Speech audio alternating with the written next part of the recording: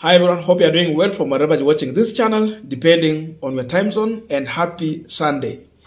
Now, William Samoei Ruto, Rigathi Gachagua, and Kithure Kindiki are proving to Kenyans that they are above the law.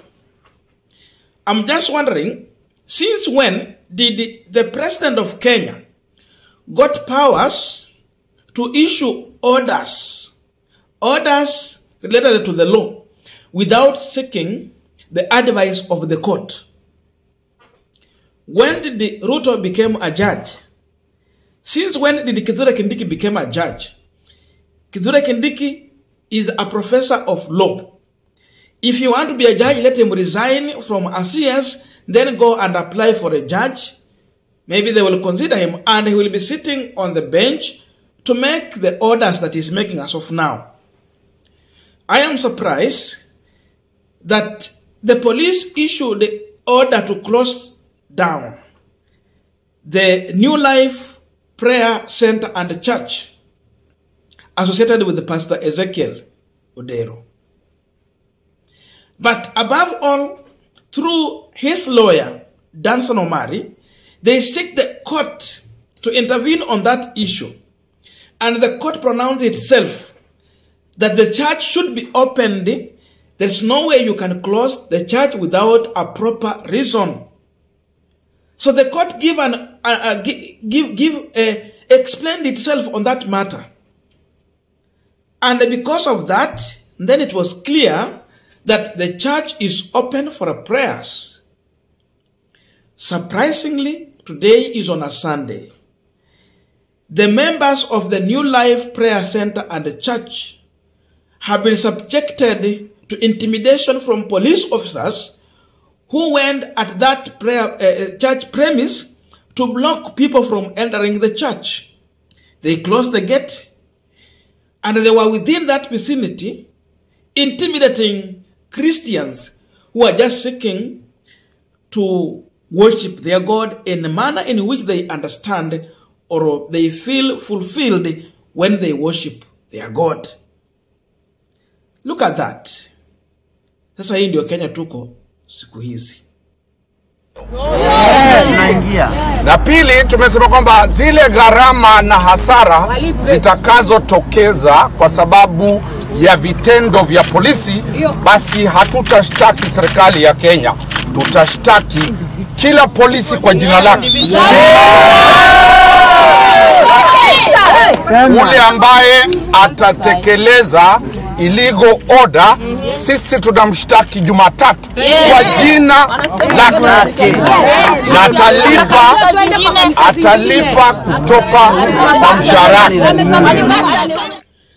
Now we are continuing with the panel discussion, but just a quick request for those who are watching and you are not subscribed, please consider subscribing to the returning subscribers. I must thank you so much, and again to all our viewers, please give this video a thumbs up. Thank you so much, and back to this discussion. William Ruto and his government are reducing this country to a banana republic, whereby everyone will come up with their own pronunciation, and it becomes the law.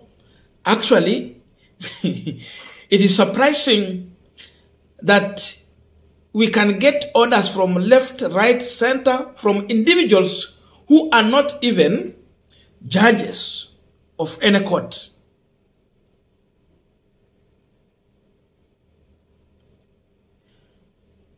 The time we had such kind of orders is during Moi era.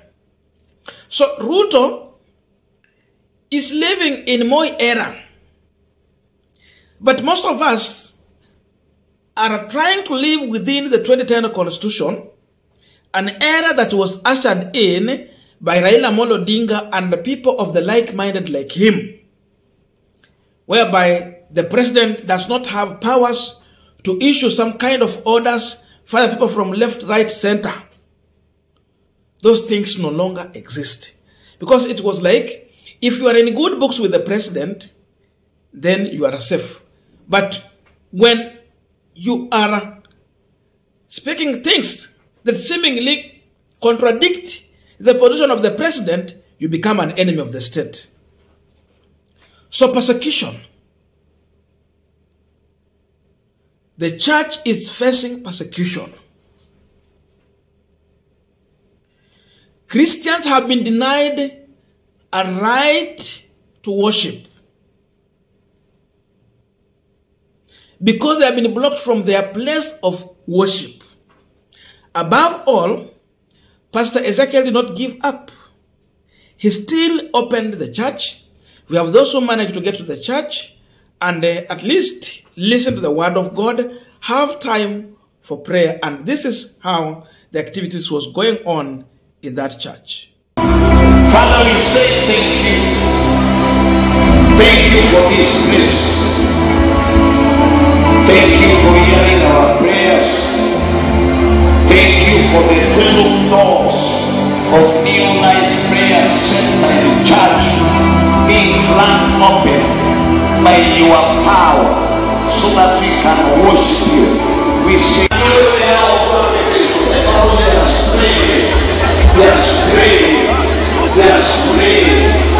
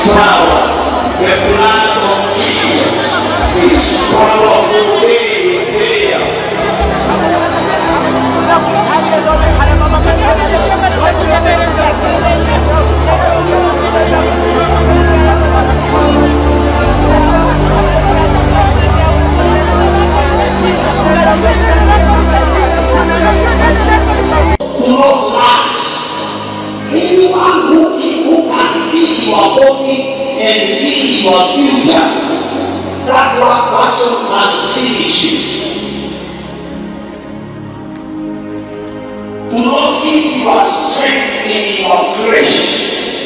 Keep your strength and your power in you can fight in spirit. Shout hallelujah!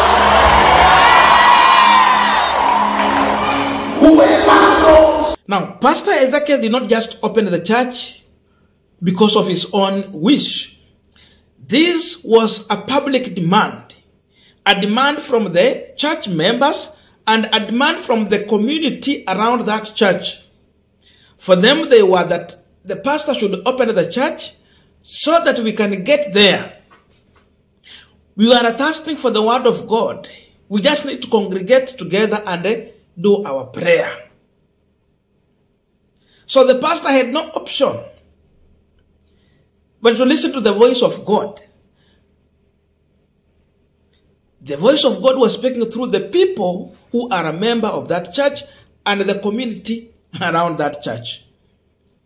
But you can see now, today we have new Saul who is persecuting the church.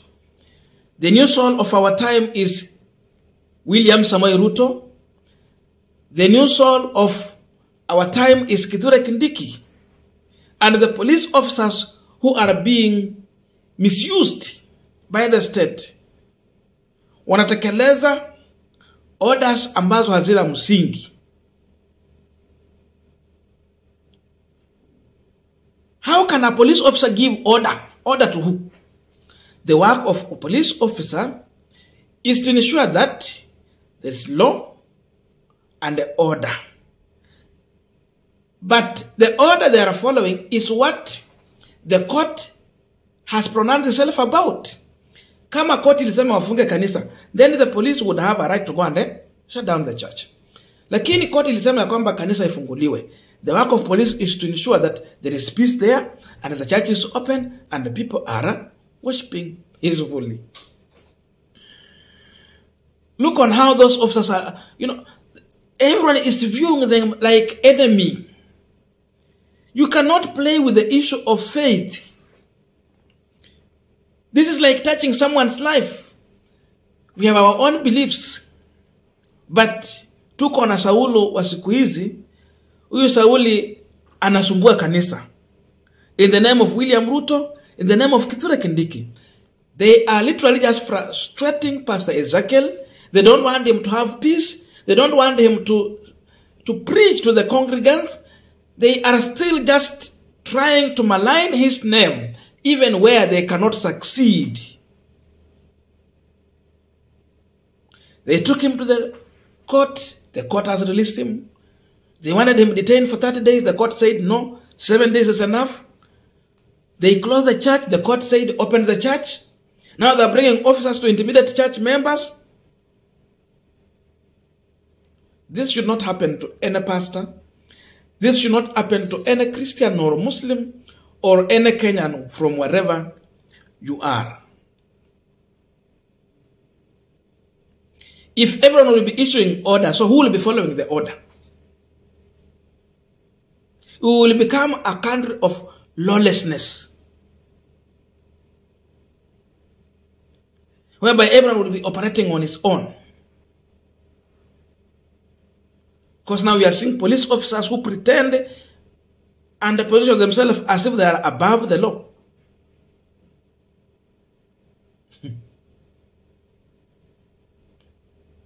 Things must, ch- must change. Now, Kenyans have also commented on this, and I want to read those comments as we continue with this discussion. It's only God who can judge the spirit, not the flesh. The gospel will continue. That is Dantex, Daystam. If you don't respect government orders, my friend, that's ignorance and it has consequences. For this one, I think she's not well informed about this issue. Now, this is where Kenyans lost. Government orders cannot be above the court order. There is the government and there is the court. Even the court will issue order to the government. Hmm. Lucky, Ekasiba, those police will die denying people's faith of worship. Pokeeni laana ya mauti. Look at how people are, tell, are telling these officers. Gideon Chege, court allowed church to be opened. Kwani the police understood was that was the church to be opened for what purpose? Would question. Ruben Wechuli. In Kenya, only the poor will be denied freedom. The rich have connections. So these people are the poor. They are being denied the freedom of worship, according to that comment. And lastly, we have Martin Opio. There is no day the flesh will judge the spirit. Hakuna and make your research. The word of God is alive and you can't convict God's message. The spirit will always judge the flesh. I don't know your views, but for me, I disagree totally with what the government is trying to do at Shanzu in the New Life Prayer Center and Church. See you in our next video.